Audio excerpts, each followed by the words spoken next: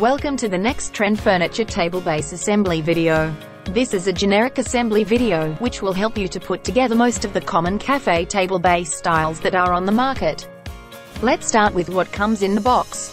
Table base, tabletop cross plate, center pole, threaded rod, base weight. Not all bases have this weight. Nuts and washers. There will be two narrow nuts, one larger nut, one flat washer and one spring washer self-tapping screws for attaching a tabletop. Please check that these screws are suitable for the tabletop that you want to attach before using. Nut tensioning tool. This will work if you don't have a set of spanners, although a spanner is always easier to use if you have one. Step 1. Take the threaded rod, and on the end that is going into the top plate, wind one of the narrow nuts onto the bar approximately 50 millimeters. Step 2. Take the top cross plate, and push the threaded rod through from the underside, until there is a portion sticking out the other side of the cross plate. Step 3. Take the second narrow nut, and wind it on until the end of the rod is just level with the top of the nut. Drop the rod down so that the top nut is firmly seated in its hexagonal housing. Step 4. Firmly fasten the lower nut hard against the top cross plate and tighten with the nut tensioning tool or a spanner. The threaded rod should now be held firmly in place. Step 5. Take the center pole, and slide it over the threaded rod, and insert it into the top cross plate.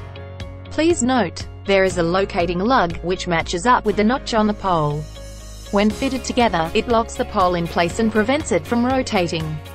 This must be located correctly, or your table base will either wobble, sit crooked, or both. Step 6. Carefully slide the table base over the threaded rod, again ensuring that the notch lines up with the lug. Not all table bases will have this locating notch on both the top and the base of the pole. Step 7. If your table base comes with a weight, slide it over the threaded rod. There is usually only one way that this weight goes, to sit snugly in the base. Look for the recess in the weight for the nut to go in, and put this to the top.